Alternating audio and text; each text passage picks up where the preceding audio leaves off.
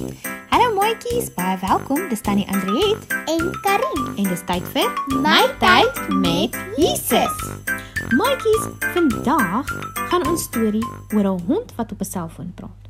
Ag nee. Dit klink vir my na 'n vreemde storie. Maar weet jy wat? Net so klein rukkie terug het Karin en haar sussie vir hulle ouma en oupa op die plaas gaan kuier. En toe hulle by die huis kom, toe kry ons boodskapies op WhatsApp wat ouma opgeneem het van die honde op die plaas wat vir die honde hierso in die Kaap boodskappe stuur. Asof hulle vir mekaar kan gesels. Ja, en da, ons het al stories kyk en dan in sulke wyse het vir die honde self en aan hulle halsbande het. Ja, dit is maar seker net verbeelding. Maar kom ons hoor wat het hier gebeur. Fabio is die seentjie in ons storie en hy het 'n hond met die naam Tim. Het jy 'n hond? Ja, jy het 'n hond, Chocolate. pragtige bruin en wit border collie. Nou, hulle het baie saam gespeel. Eendag het Fabio in 'n boom geklim en hy het nie mooi gekyk wat hy doen nie en toe val hy uit die boom uit. Wel, het julle al ooit 'n boom geklim? Ek het, ek is mal daaroor. Ek het al 'n paar keer uit 'n boom uitgeval. Dit is nie lekker nie. Nee, dit is nie lekker nie. Daarom het jy nie ernstig seer gekry nie. Toe Fabio uit die boom uitval, het hy seer gekry en 'n ambulans moes hom na die hospitaal toe vat.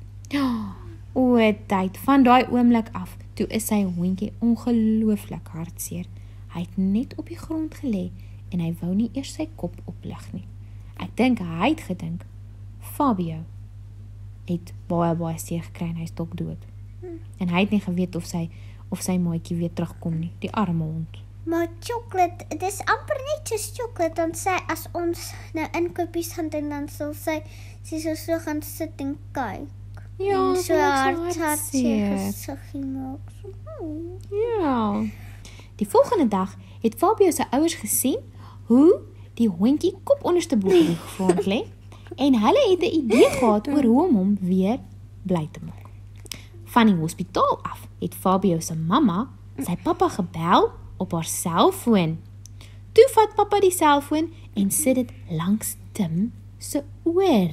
Wel, toe Tim vir Fabio se stem hoor op die ander kant van die lyn, toe het hy sy stertjie begin waai en hy het regop ge gesit en hy het sommer begin blaf. Hy was sommer baie bly. Nou het hy geweet, "Oké, okay, my maatjie is oké. Okay. Ek hoef nie meer bekommerd te wees nie." Nou wat kan ons leer uit hierdie storie? Het ons 'n selfoon nodig om met God te praat? Nee, ons kan sommer net bid. Ons kan. Enige plek waar ons is, enige tyd kan ons ons oogies toemaak en ons kan met die Here praat. Dit is wonderlik dat ons 'n direkte koneksie met hom het. Maak nie saak waar ons is nie. En dit maak nie saak of dit dag of nag is en of ons hier is of in China is nie. Almal kan met God praat dieselfde tyd. En weet jy wat? Gebed het nie swak sein nie. En jy het nie wifi nodig nie. Dis lieflik, né? Nee? Ja. Ja, dit is dit dit is amper soos dit bly altyd sterk en God weet al uh, klaar dat hy wil hom um bel uh, of met hom praat dan dan het hy alles sommer klaar reg dat hy net enigtyd kan praat. Net so.